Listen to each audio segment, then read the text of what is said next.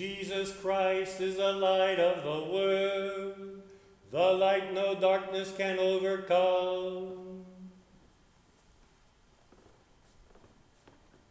Stay with us, Lord, for it is evening, and the day is almost over. Let your light scatter the darkness and illumine your church.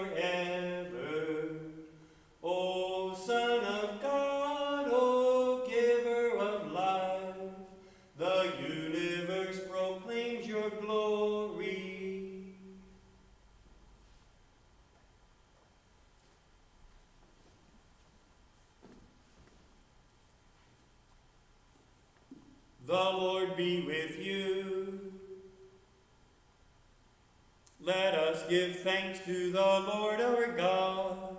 It is right to give him thanks and praise.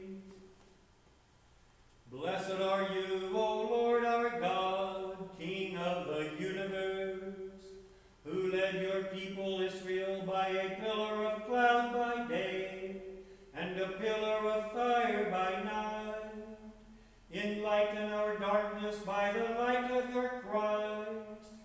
May his word be a lamp to our feet and a light to our path.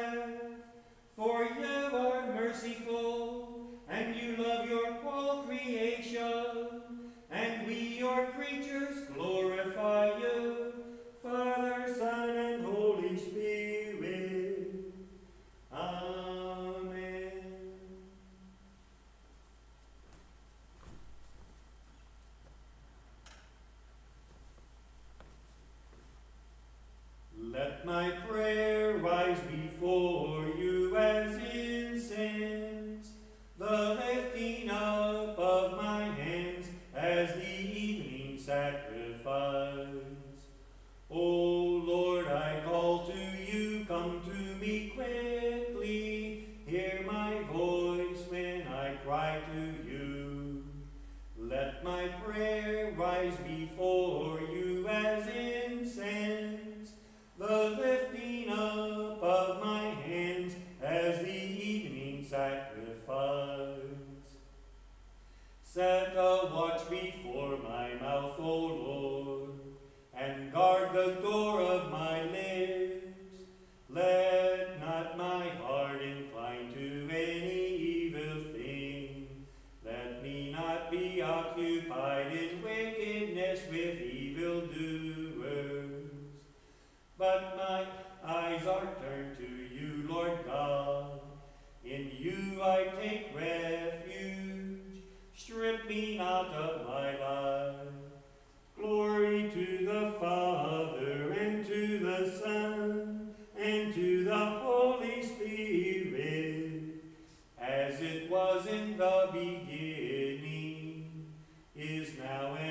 be forever.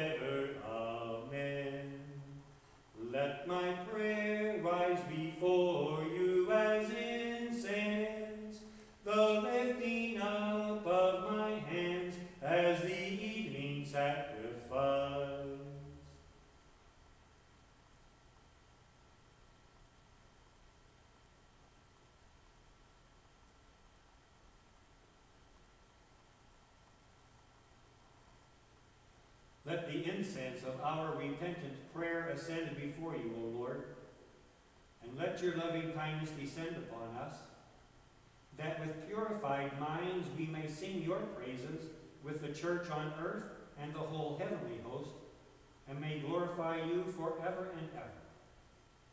Amen.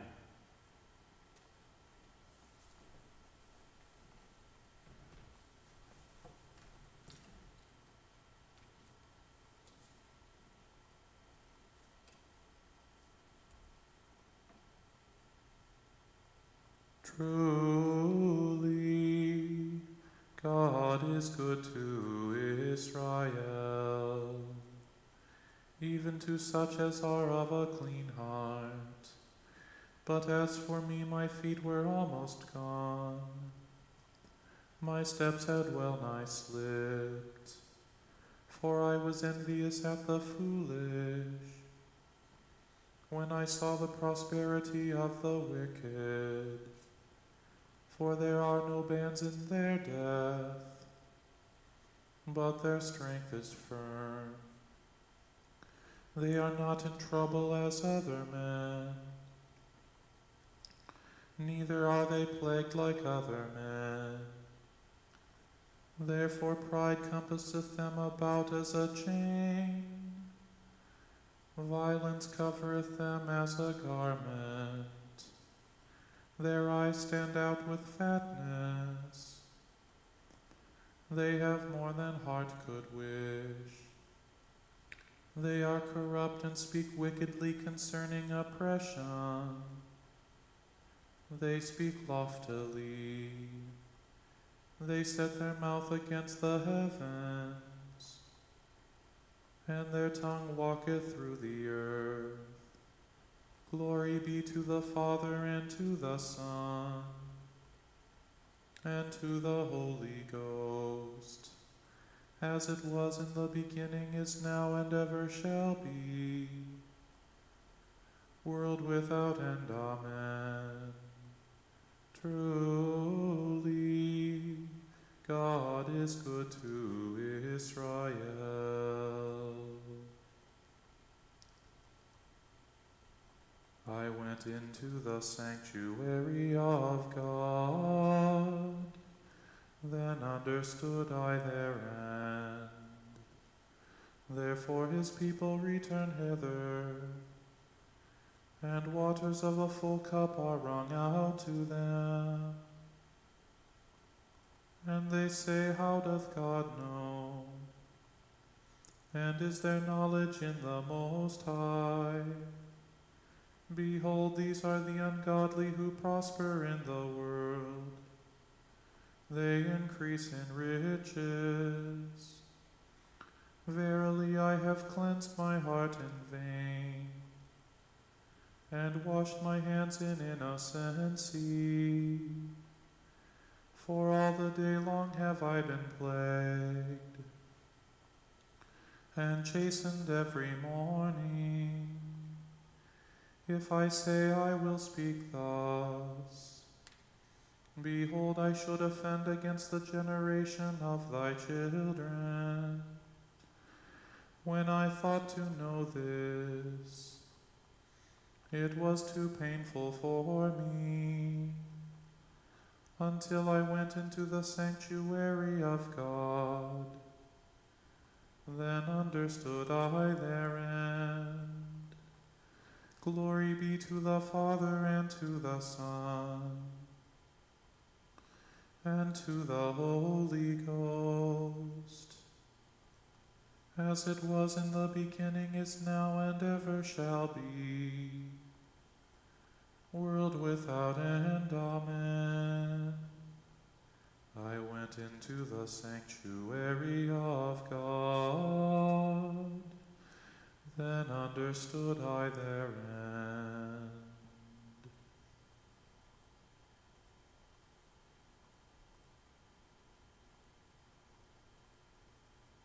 O Lord, make us ever hold fast to thee, and in thee put all our trust, that we may tell of thy praises in the everlasting gates, through Jesus Christ our Lord, who liveth and reigneth with thee and the Holy Ghost, ever one God, world without end. Amen.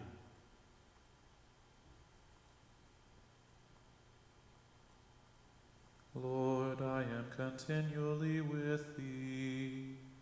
Thou hast holden me by my right hand. Surely thou didst set them in slippery places. Thou castest them down into destruction.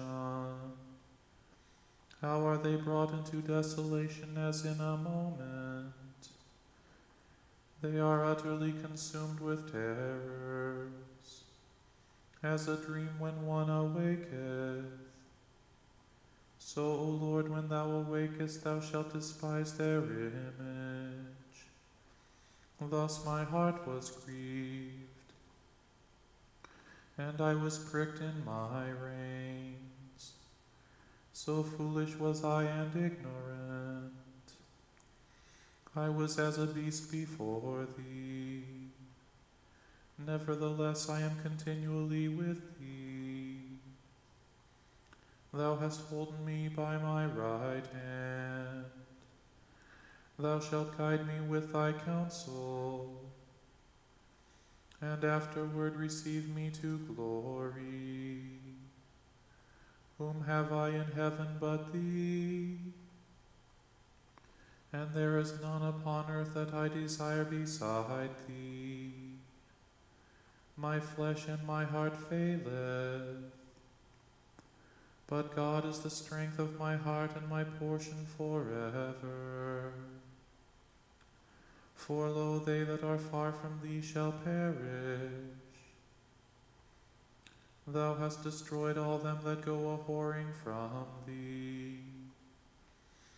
But it is good for me to draw near to God. I have put my trust in the Lord God that I may declare all thy works. Glory be to the Father and to the Son and to the Holy Ghost, as it was in the beginning, is now, and ever shall be, world without end. Amen. Lord, I am continually with thee. Thou hast holden me by my right hand.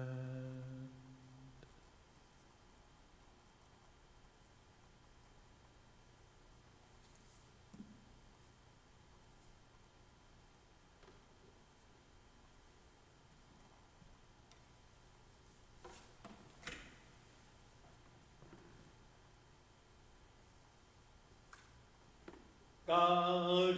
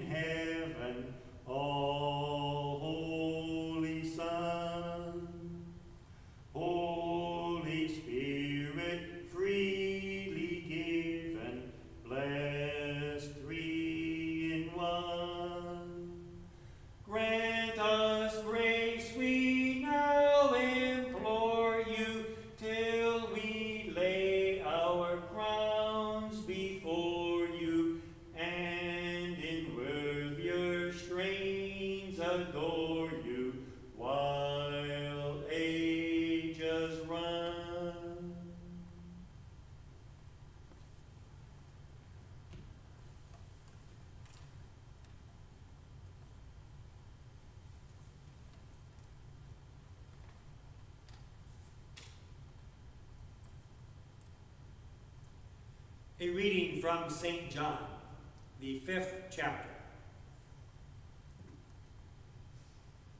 So Jesus said to them, Truly, truly, I say to you, the Son can do nothing of his own accord, but only what he sees the Father doing. For whatever the Father does, that the Son does likewise.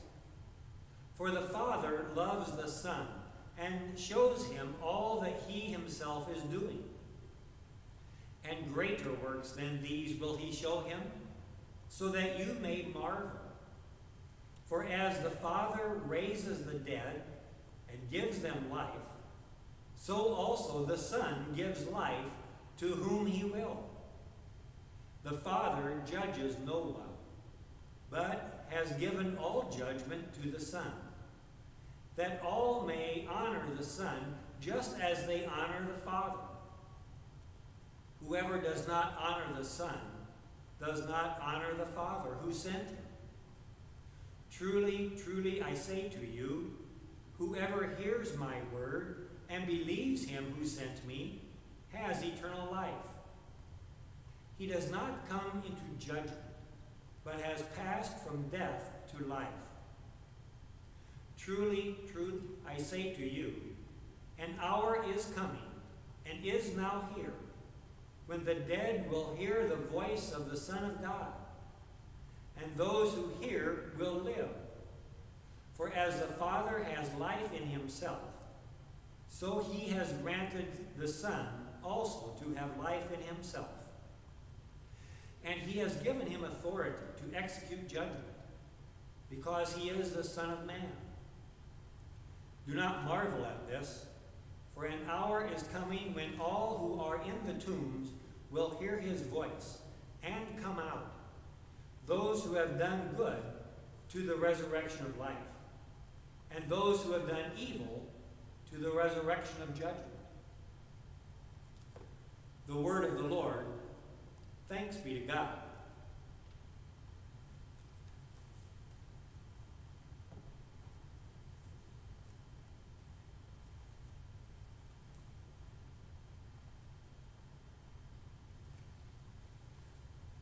A reading from St. Augustine on Christian doctrine.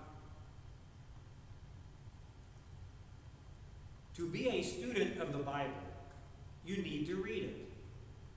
Even if you can't understand all of it, you will do well to read all of it. Get to know these books. Memorize a few passages. Become familiar with the Holy Scriptures.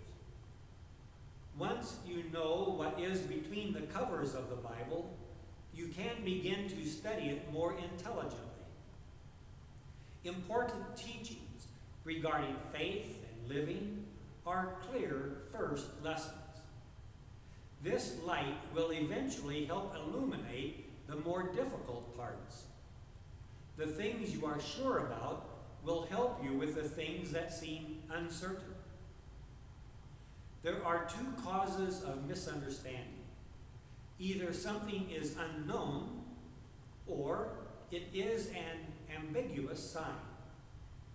The only cure for ignorance is education. If you have a strong desire to understand the scriptures more fully, learn the original languages. The multiplicity of translations creates questions and doubts because they do not all agree in the details. Some words defy translation. Comparing various translations can make a difficult verse easier to understand. One may be explained by the other. Both may contain something valuable to a careful reader. Faith is the most important ingredient in Bible study. Someone said, If you do not believe, you will not understand. St. Augustine.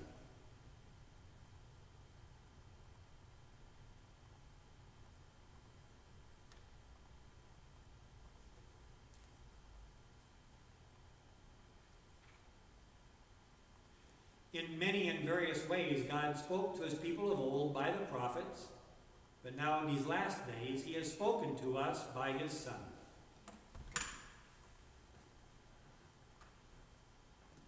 My soul proclaims the greatness of the Lord.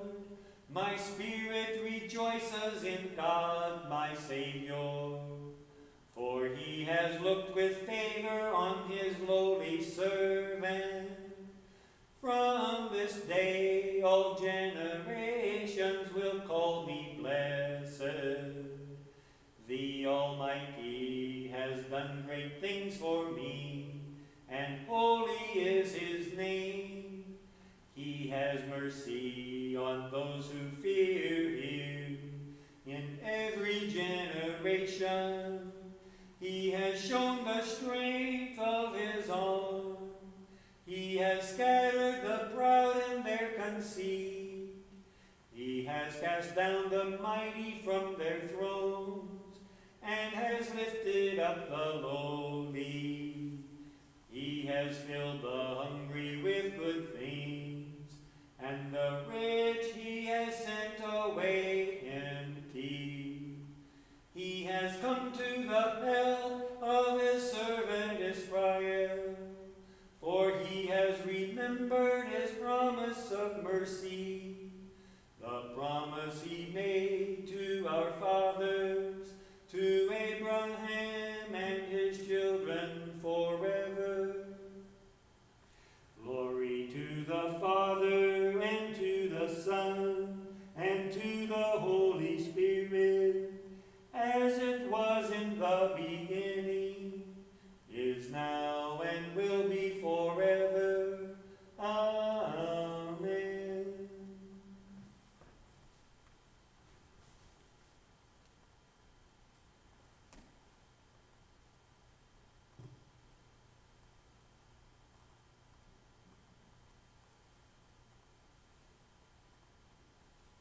In peace let us pray to the Lord.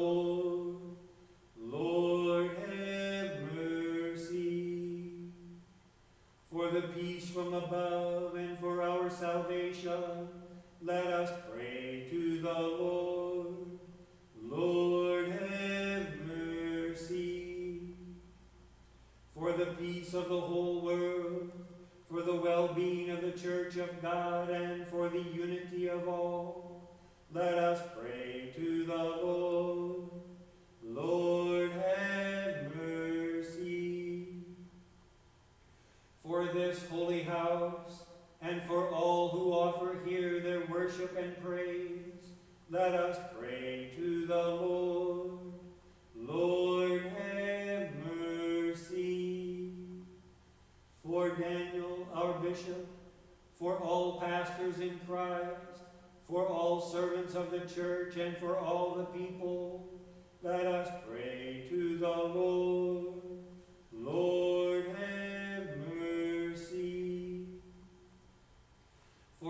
public servants, for the government and those who protect us, that they may be upheld and strengthened in every good deed, let us pray to the Lord. Lord, have mercy. For those who work to bring peace, justice, health, and protection in this and every place, let us pray to the Lord. Lord, have mercy.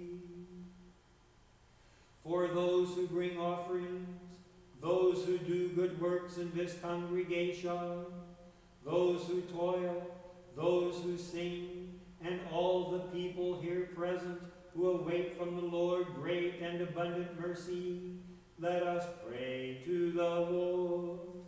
Lord, have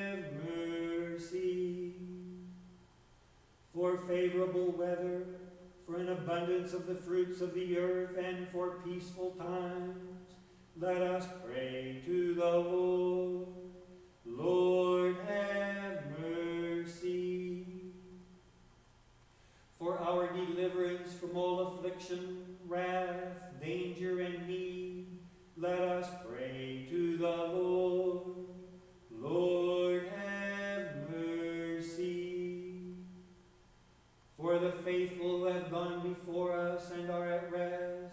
Let us give thanks to the Lord.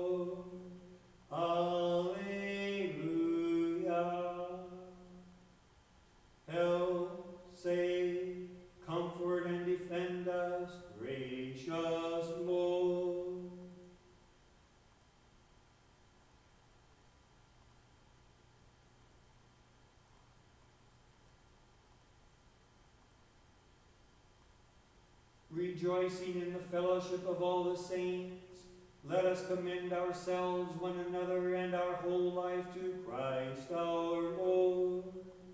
To you, O Lord. O God, from whom come all holy desires, all good counsels, and all just works, give to us, your servants, that peace which the world cannot give, that our hearts be set to obey your commandments, and also that we, being defended from the fear of our enemies, may live in peace and quietness through the merits of Jesus Christ our Savior, who lives and reigns with you and the Holy Spirit, God forever. Amen. Lord, remember us in your kingdom and teach us to pray. Our Father, who art in heaven, hallowed be thy name. Thy kingdom come, thy will be done, on earth as it is in heaven. Give us this day our daily bread, and forgive us our trespasses, as we forgive those who trespass against us. And lead us not into temptation, but deliver us from evil. For thine is the kingdom, and the power, and the glory, forever and ever. Amen.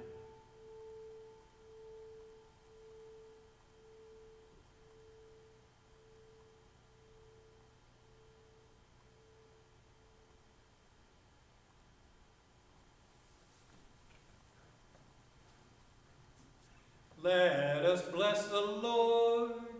Thanks be to God.